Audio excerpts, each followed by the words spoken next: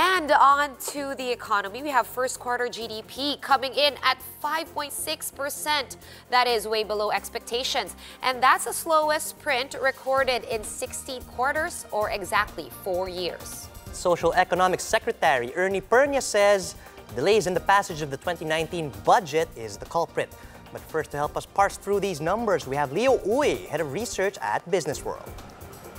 Hi, Leo. What dragged down first quarter GDP? Um, is it really just the budget or are there other factors? Right. So first off, I'll just want to emphasize the supply sector of the economy.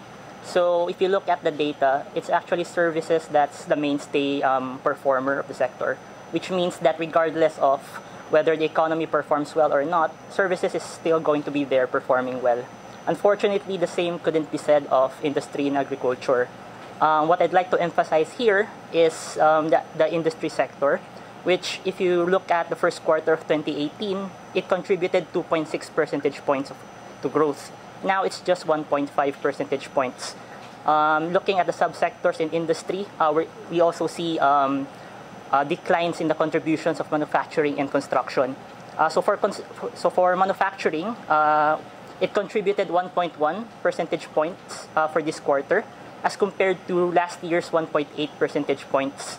Um, on the other hand, for construction, uh, it contributed just 0.2 percentage points as compared to 0.6 last year. Um, unfortunately, um, agriculture remains to be a laggard here as it contributed just less than a tenth of a percentage point. Okay, so um, if we take a look at government spending, it actually rose some 7.4% despite the reenacted budget and the budget delays.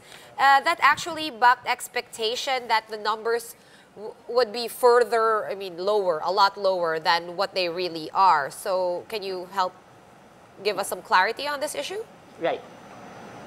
Right. So even though uh, government spending rose by 7.4%, uh, compared to the first quarter of 2018, uh, it grew by 13.6%. So it's actually um, disappointing in the uh, in the sense that, relatively speaking, um, the 7.4% in government spending is lower.